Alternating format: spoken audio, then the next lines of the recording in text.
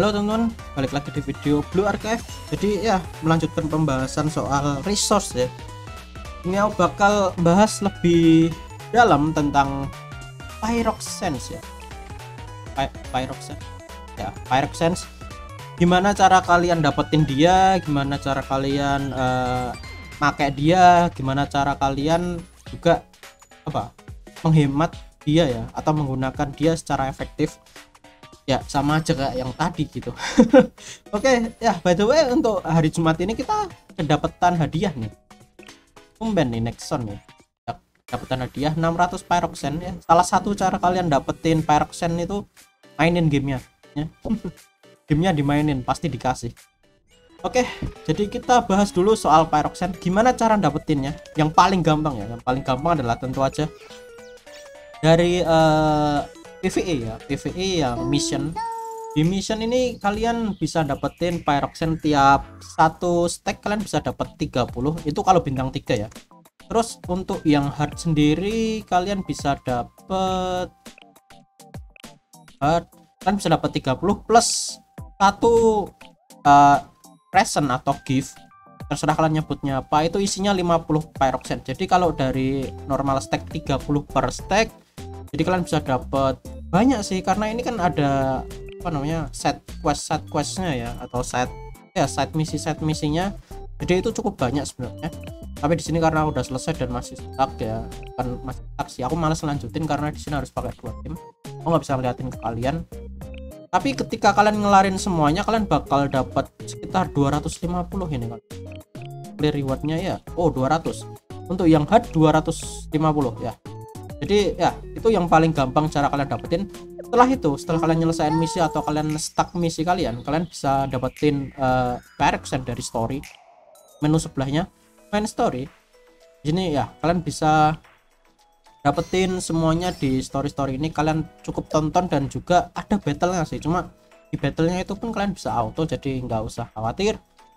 Oke nextnya setelah kalian selesain di PvE tentu aja ya di PvP uh, sumber pyroxen kalian. Sebenarnya di PVP adalah sumber pyroxen utama sih sebenarnya ya.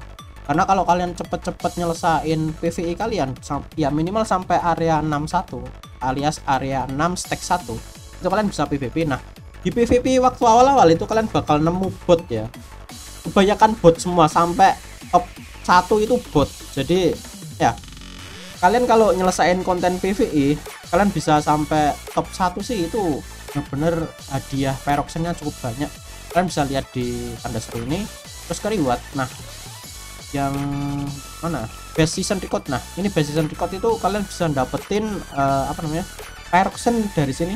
Misalnya kayak rank 1 sampai rank 10 ini 20 jadi kalau kalian di rank 11 ya terus kalian masuk langsung ke rank 1 itu kalian dapat total 200 pyroxen nggak cukup banyak. Ya nggak cukup banyak ternyata. Atau ini ya ini deh kayaknya best record ini deh. Atau ini? Wah aku lupa cok yang mana cok pokoknya salah satu inilah. Jadi kayak gitu kalau dulu ya cuma sekarang bakal susah. Aku pun cuma mentok kalau ini ini hadiah daily ya kalau ini hadiah daily. Kalau sekarang pun aku berhasil sampai top 2000 ya sampai rank 1600 kenapa aku turun sampai 10.000 karena ya aku udah apa ya namanya aku udah out of meta terutama karena ada banner baru terus aku nggak gacha sama sekali jadi aku nggak bisa uh, ngikutin meta PVP dan juga tanknya meta sekarang tuh si Subaki, Yuka, terus Sun. Satunya tuh bebas kalian mau pakai apa pun. Yang satu pasti DPS ya yang satu pasti DPS untuk nge-counter uh, siapa pun gitu yang ada di musuh. Untuk spesialnya Hibiki sama Karin itu udah best serius itu bakal udah best untuk uh, eh, PVP sekarang ya. Nih contohnya nih bawa sendiri nih. Aduh hilang cok dia. Baru mau aku liatin dia pakai hibiki sama Karin tuh spesialnya. Jadi ya dia bakal gampang tuh arena. Cuma dulu kalau sekarang kan udah ada Masiro juga nih. Udah ada yang pakai Masiro Nits ya kan udah pakai Masiro. Jadi ya sekarang yang udah pakai Masiro ini bakal meta sekarang. Kalau kalian nggak pengen ngikutin meta ya santai aja mainnya Oke. Terus yang ketiga itu dari uh, Bon ya, dari Bon. Atau kalau ya dari Bon lah yang paling gampang menurutku. dari pun ini kalian ya ini kalian bakal uh, kalian chatting ya di sini sama student kalian kalian murid kalian nah kalian bakal ada story kayak gini tuh kalian bisa dapat pyroxen ya kita langsung lihat kita aja biar nggak kelamaan dan ini bisa kalian tonton ulang kok santai aja. Kalian pengen nonton oh. yap dapat pyroxen 40 lumayan kan? Ya satu story 40 ada yang 40 ada yang 20 nggak tahu. Yang apa nentuin itu tuh bon level berapa aja nggak tahu. Oke okay, next adalah yang keempat dari achievement ya. Achievement ini kalian selesaiin ya kalau bisa. Contohnya kayak yang mana ya ya pokoknya ini kalian selesaiin aja sih. Yang paling gampang tuh sebenarnya kalian bisa nyelesain kayak ah nggak ada cuk. Kayaknya udah keambil deh sama aku. Iya kayaknya udah keambil deh. Ya pokoknya ada kayak clear misi kayak gini.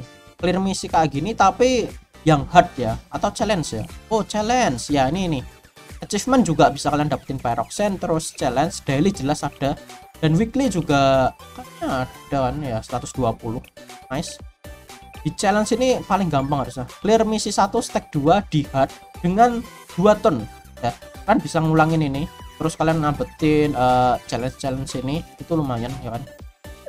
Oke nextnya yang ke berapa? 5 yang kelima kita langsung ke ya total assault alias red.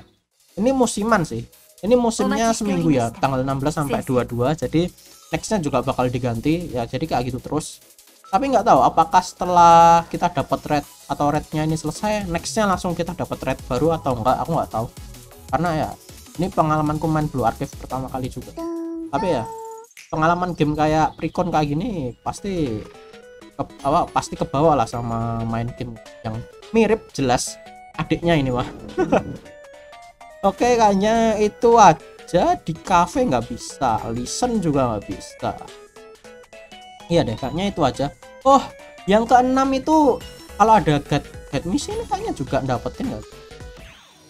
Lupa enggak deh kayaknya enggak oh ini ada nih ya Kayak misi-misi kayak gini kalian selesain juga dapat pyroxens loh terus nextnya itu event ya event stack atau event story gitu. Kayak musim-musim panas atau event story dari karakter atau student baru yang baru rilis. Kadang itu kalau rilis apa kalau ada eventnya kalian bisa dapat pyroxen di situ. Tapi nggak tahu cara detailnya kayak gimana aku nggak tahu. Cuma ya kalau ada event stack jelas kalau nyelesain stacknya ya jelas kalian bakal dapat pyroxen gitu kan. Oke, jadi kayak gitu metode-metode untuk kalian dapetin Pyroxense ya. Nextnya adalah kapan kalian gunain Pyroxense. Oke, yang pertama adalah kalian gunain Pyroxense untuk uh, beli stamina per hari itu tiga kali. Tapi ya, tapi nih, tapi tapi tapi ketika ada event double drop di normal stack atau hard stack, oke?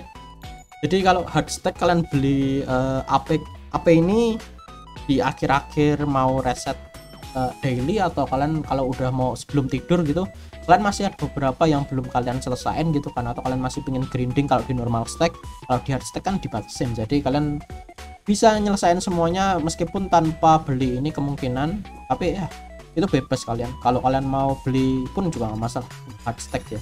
Jadi kalian bisa beli tiga kali ya cukup tiga kali karena harganya tuh 30 dikali tiga nanti. Setelah 30 nanti naik ke 60 setelah tiga kali. Nah 60 tadi 60 nanti kalian beli tiga kali lagi naiknya ke 120 kalau nggak salah. Oh jarang sih beli yang 60 bahkan di precon aku beli yang 60 tuh karena kadang kalau aku lupa di hari, di hari sebelumnya beli stamina aku bakal beli yang 6 tapi ya yang paling optimal untuk free player terutama beli 30 kali 3 udah gitu aja Terus nextnya adalah banner ya untuk gacha jelas. Gacha tapi gacha ini sekali lagi aku ingetin ke kalian. Gacha kalian cari yang uh, metanya lama meta metanya lama yang pertama. Terus yang kedua itu kalian cari yang limited student atau limited unit ya. Karena kalau kalian sampai miss limited unit atau limited student biasanya tuh dari misalnya nih ada tiga limited student yang rilis. Nah satunya aja itu pasti bakal ada yang meta meskipun duanya nggak guna atau meta PVP gitu tapi ada satu yang pasti meta ke semua konten. Jadi nggak pasti juga sih cuma ya pasti akan ada gitulah intinya. Pasti akan ada. Nah kalau kalian miss uh, student kayak gini ya kalian bakal kesusahan. Kalian mau uh, kompe kompetitif di mana pun bakal kesusahan. Bahkan kalian juga bakal lebih susah daripada orang yang punya student tersebut untuk menyelesaikan konten-konten tertentu. Jadi ya gunakan dengan bijak pyroxen kalian untuk gacha ya sekali lagi. Jangan habisin karena kalian udah ngerasain sendiri selama berapa ini? Udah seminggu lebih ya? Ya seminggu lebih game ini rilis gitu. Kira-kira kalian kalau udah stuck kalian dapat pyroxen dari mana ya kan? Lambat banget kan apa dapetin pyroxensnya makanya game ini tuh di bawah santai aja. Nggak usah terburu-buru ngikutin apa pun itulah. Karena ada akan ada saatnya kalian free player tuh bisa kompetitif sama yang well gitu. Cuma ya butuh waktu jangan terburu-buru aja gitu. Bahkan aku di precon ya aku udah rank satu arena tuh. Aku awal-awal ya kayak gini. Aku tapi di awal-awal tuh stay di rank berapa ya? Di rank seribuan gitu. Tapi di sini aku sampai rank sepuluh ribu cok. What the?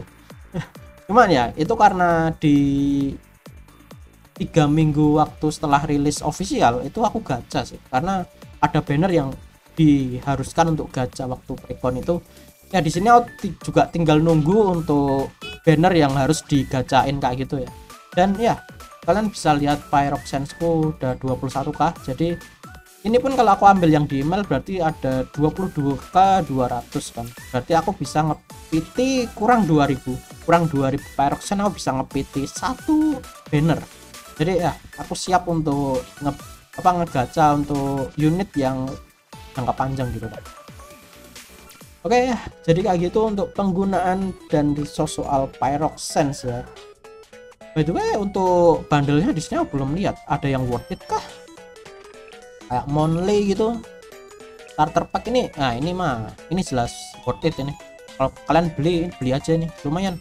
Dari KLF 40 tuh berarti kalian tinggal ngumpulin 40 dari hard hard tag gitu. Kan bisa langsung bintang 3 ini seri tuh. Selain itu growth pack ini no tapi bonus eruption oh enggak.